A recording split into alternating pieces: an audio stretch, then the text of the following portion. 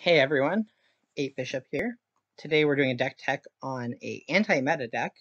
Uh, so this is just trying to be as disruptive as possible to all of the most powerful combos and archetypes out there, um, most notably being Dinos and Nova. Occasionally you'll still go up against like an on-reveal deck, um, or you will be if you're lower on the ladder, um, and we kind of have answers to all of that stuff. So we're running Armor to prevent destruction effects, Cosmo to prevent on-reveal effects, and Enchantress to turn off ongoing effects. Uh, we do also have our own singular ongoing effect booster because we have a handful of one-drop units in the deck, and it can be quite useful for that reason. Um, so let's just go over the list really quickly. Um, we're running Iceman for Disruption, Korg for Disruption, Nightcrawler, good flexible one-drop, Blade, very notably because we're playing um, Strong Guy. Strong Guy, we can almost always have our hand empty. We only have two cards in our deck that we cannot play on curve on turn six together, but if we have a Blade, then we can always discard one of those. Um, ideally, we only draw one of our four drops, or we draw our four drops staggered enough that that won't be an issue, though. Um, it's a four drop plus two drop or one drop is still okay. Um, we're playing Cloak uh, because it's a very aggressively statted unit and we are able to use it to move around our stuff that counters our opponent's stuff, um, which can be quite rude to them. Um, Bishop because it gets stats really efficiently and we can play our deck a little bit more slowly um, if and when we need to. And yeah, that's the deck. Um, you'll see you do need to play it a little bit more controlling style um, depending on what you draw.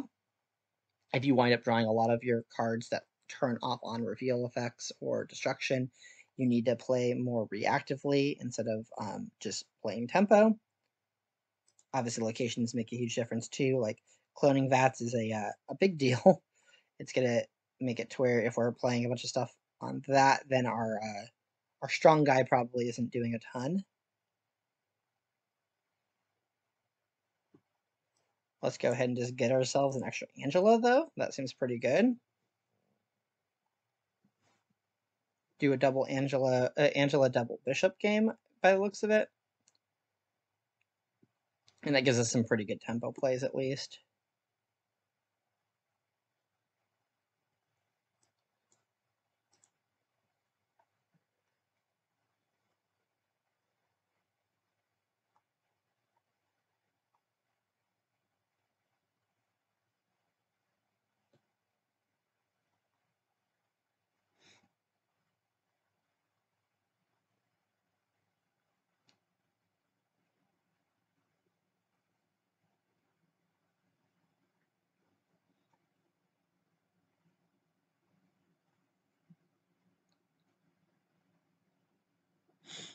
To do.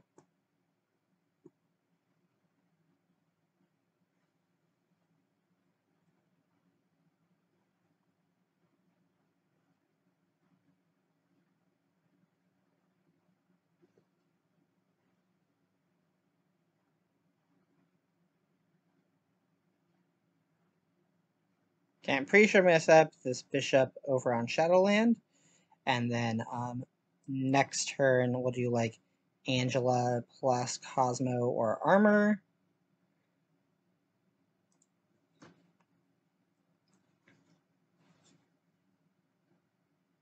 It doesn't look like they're playing the normal combo deck anyway. They're playing um, they're playing the movement deck. They have a lot of stats to play around though.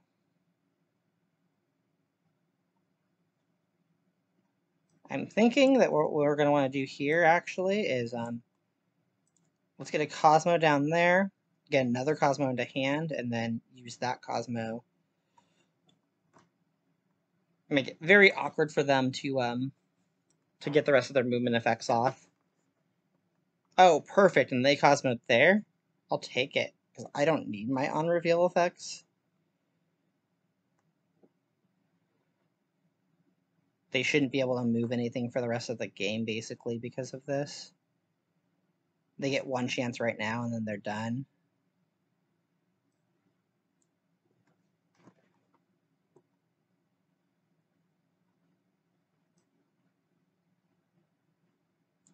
Like, I can deal with my effects not going off. That's not a big deal.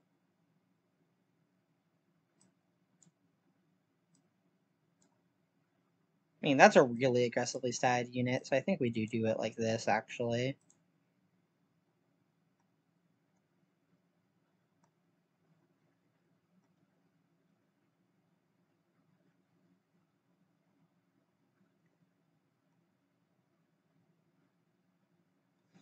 The board is already very cluttered for a deck that wants to move its stuff around, so I don't think they're going to be able to come back on this.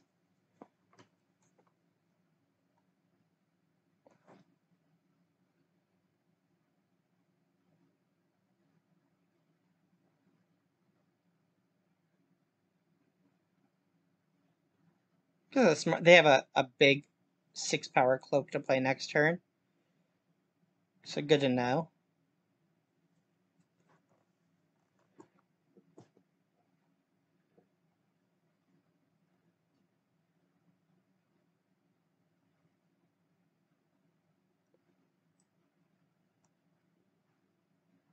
That's the highest power we can get there.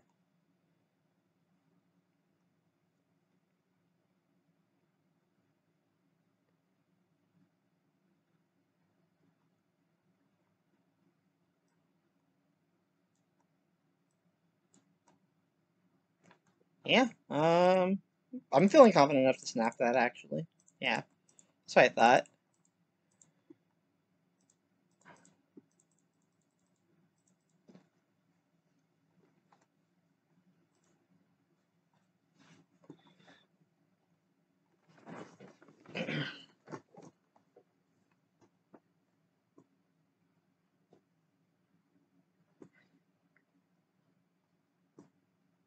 Not bad for an opening hand.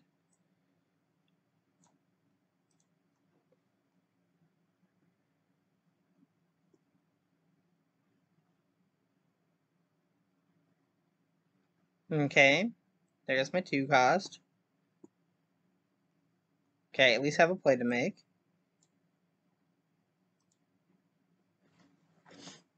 There is a world where I should have on that Nightcrawler for a bishop, but that's okay.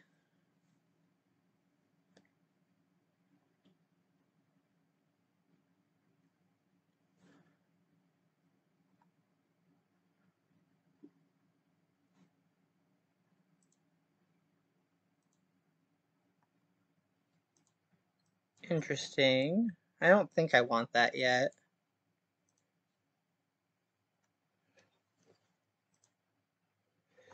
Also interesting that's not an on reveal effect.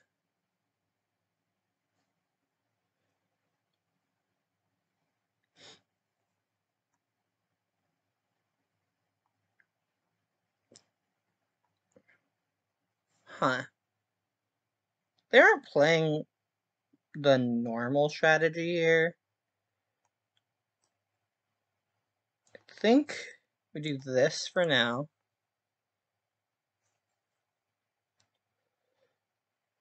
So Nova will not work here, and then we'll set up Cosmo here next turn in case they're saying about on-reveal strategy.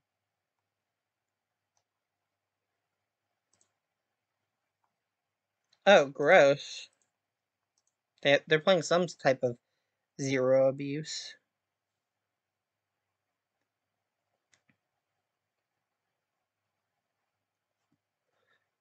Yikes, okay. Is what that is what it is. I'm just gonna have to go for the more aggressive play to try to keep strong guy in line. I think if we're doing that, it's more correct to support another spot though. Because strong guy keeps them on their toes.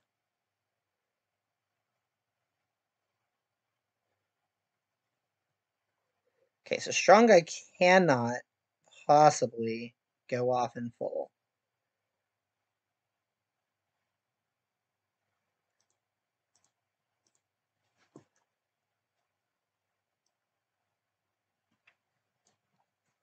We know that, but they don't know that. Let's try it like this. Because we hit discard, strong guy still goes off. So we can hit blade with lockjaw, hypothetically. Yeah, okay. It's a 50-50 who flips first here, so if they are going for an Odin play right now, uh, there's a 50% chance that the Cosmo stops it.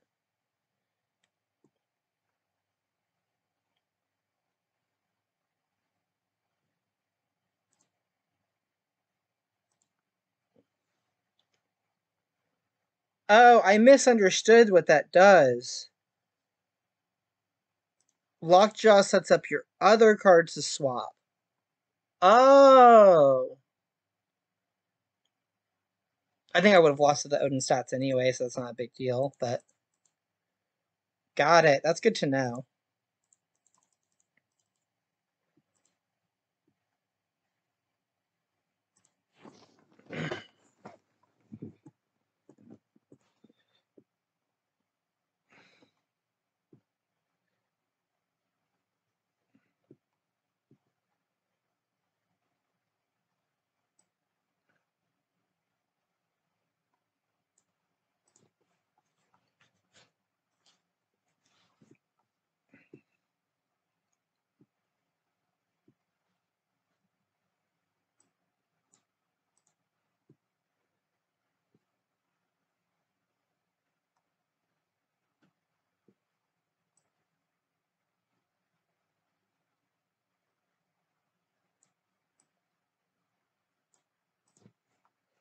We're feeling pretty good about swapping hands right now.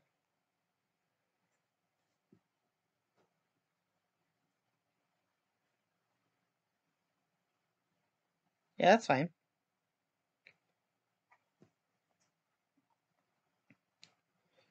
Um, that's a one cost.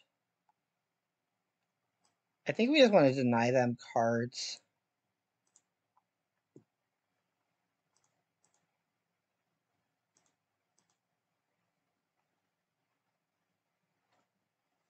Good to know. Good to know.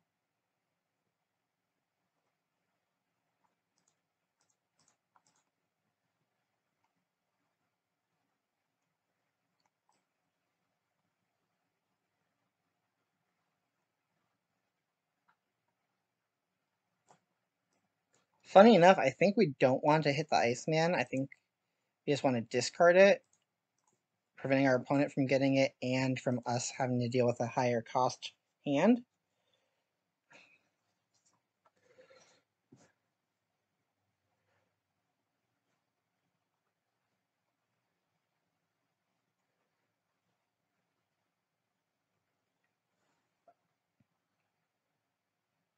Okay, well you don't have a hand anymore, so I'm not super worried about that.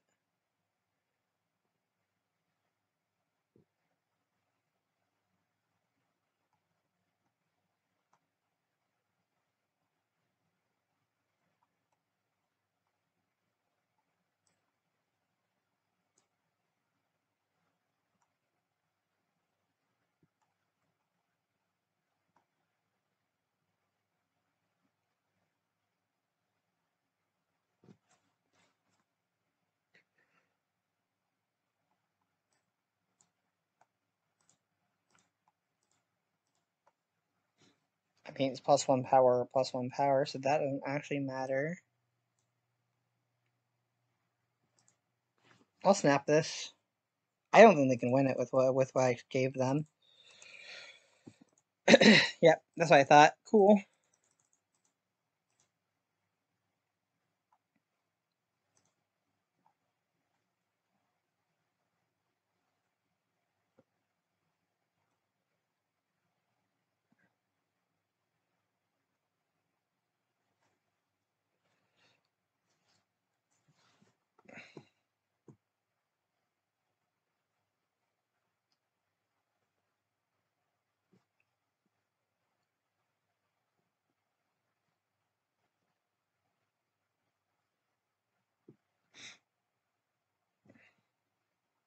Nice early curve. Ooh, and um, we get some extra disruption. Let's go for the double Korg, and then we'll go for the double Iceman.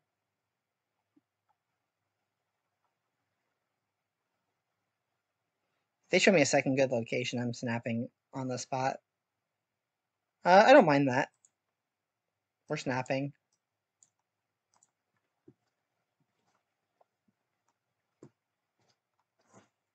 We have a huge advantage here. So we got put two rocks in their deck. We're gonna increase the cost of thing in their hand twice. Like I'll take it. Come on, let's go. I hope I hit like Dino and Moon Girl or something. That'd be freaking awesome.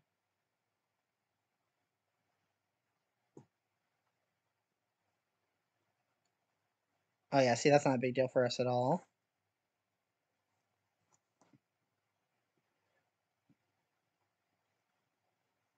Um,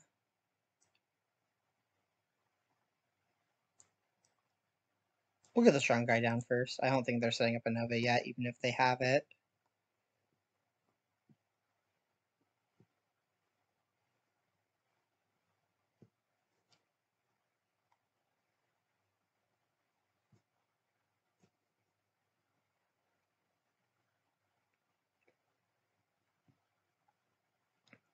And now that we know we're not going to be swapping hands with them or anything unless the Scarlet Witch comes down, I'm pretty confident that we have this game. We're going to want to be playing our four drops on curve in case we keep drawing expensive cards, but aside from that, we're pretty set. Nice.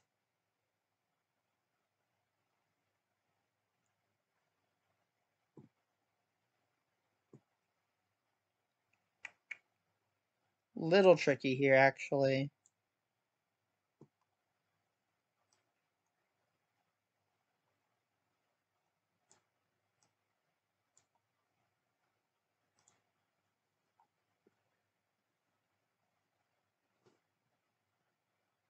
I actually probably should have moved the Nightcrawler and played the strong guy here when I um played the strong guy, but I think I played this before I knew it was a space throne. No, no, I didn't. I did not. Yeah, I guess I hindsight I should have made sure the strong guy was here. It was my best bet for winning it, but that's okay. Interesting. They must not have had Nova and decided to not try to play for the Nova.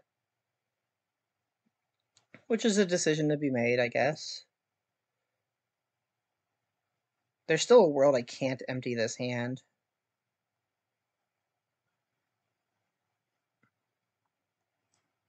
This gives me flexibility, though.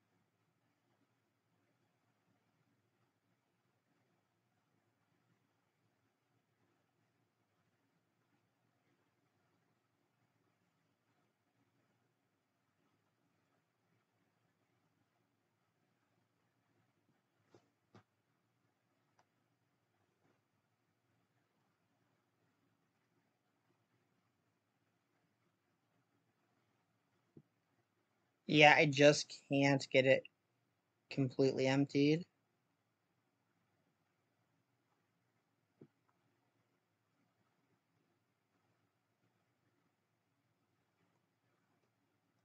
Um, I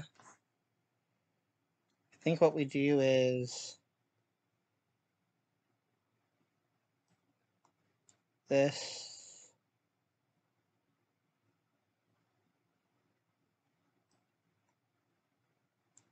This.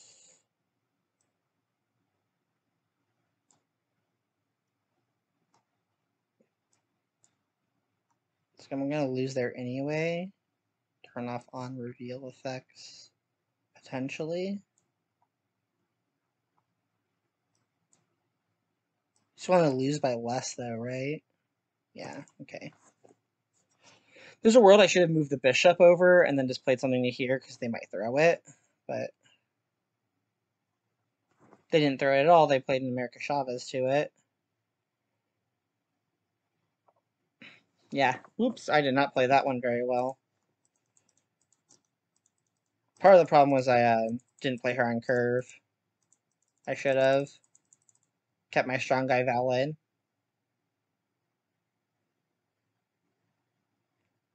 I think that was enough games, so we're going to stop recording. Thanks for stopping.